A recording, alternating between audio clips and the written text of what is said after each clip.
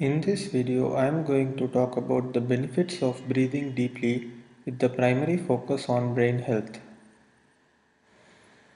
The brain needs oxygen to function and the most important functions of the brain are thinking and memory. If you breathe deeply then the air flows to the lower part of your lungs. The lower part of the lungs absorb more oxygen from the air and give more oxygen to the brain. Apart from giving more oxygen to the brain, deep breathing also relaxes your mind, body and soul which results in a clearer thinking process.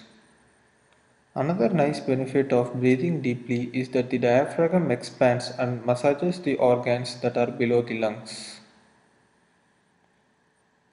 If you are interested in improving your memory power and brain health by playing brain games, then you can visit my website getbraingames.com.